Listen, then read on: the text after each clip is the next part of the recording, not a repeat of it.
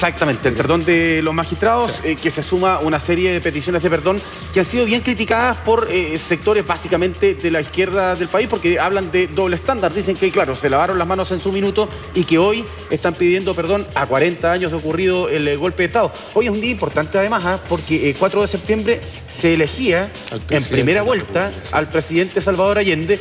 Recordemos que esa elección tuvo que ser ratificada un tiempo después en el Congreso que la democracia cristiana prestó los votos ahí para que finalmente... No habiendo mayoría absoluta, el mecanismo que había entonces era la ratificación por parte del Congreso Nacional, a diferencia de lo que ocurre hoy día, que lo que se decide cuando hay mayoría relativa es que es una segunda vuelta electoral. Exactamente. Bueno, resulta que, eh, tú te acuerdas que el presidente Piñera habló de los cómplices pasivos que había tenido la dictadura.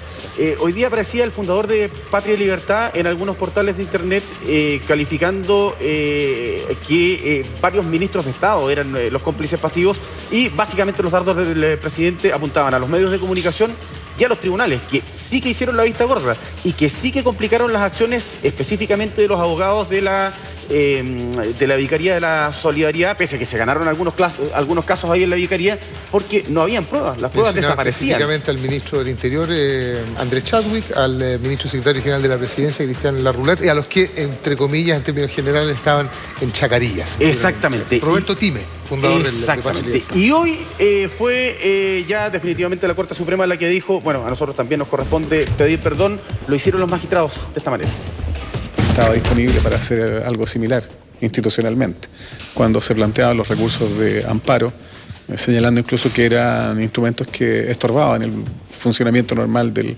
del Poder Judicial.